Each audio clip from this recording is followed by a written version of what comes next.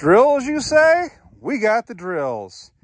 Here's a wonderful collection of new artifacts coming into the mines, courtesy of the Mojave Desert Museum down there in Kingman, Arizona, and our good patron saint benefactor, uh, Junior Huffman. So this is a combined uh, collection from both of them right now.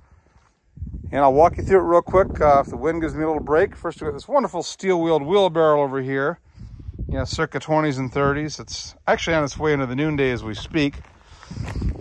These two drifter posts over here, which we finally managed to get kind of freed up, at least one of them, would mount a uh, advanced carriage like this one right over here.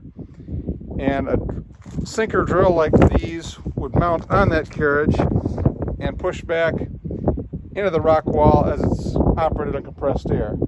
Here comes that wind again. Sorry, my microphone got chewed up by a certain little black uh, Minelab who shall remain nameless. Cleo! And um, these drifter drills came to us out of Kingman, these three right here.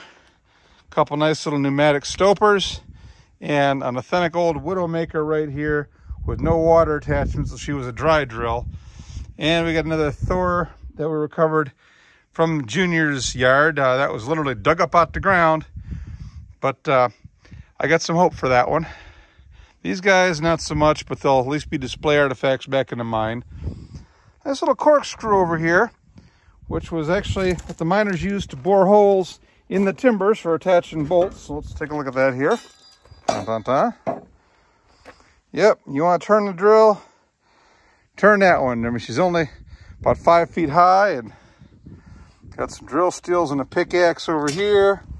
Few more drill steels by this old 1930s Cleveland drill, which is also getting on its way back into noonday. Come over past the advance, we got some more drill steel here, and we got a rail bender over here, which is how miners would bend the rails underground to fit the drifts and tunnels, and along with another piece that was used to rivet the two together. These are both out of the Gemco catalog, made by the Gemco company in St. Louis and happy to have them. Although if I had a time machine, um, I'd be going back to tell Junior Huffman, hey Junior, I love you, but please don't leave the rail bender out in the rain. I've been trying to get this thing to turn free for two weeks. Uh, yeah, but hey, if it wasn't challenging, it wouldn't be fun, right? All right, so again, great collection here. More stuff coming, and hopefully by the time the other stuff gets here, some of these guys will be back in the mines where people can actually see them. But if you come out here on a mine tour in the meantime, you can still come visit them in place and we'll show them and you can hold them and play with them and take your pictures with them and see actual pieces of uh, American mining history right here. These beautiful machines you know, did the work to make these tunnels and drifts around here and they are America. Salute!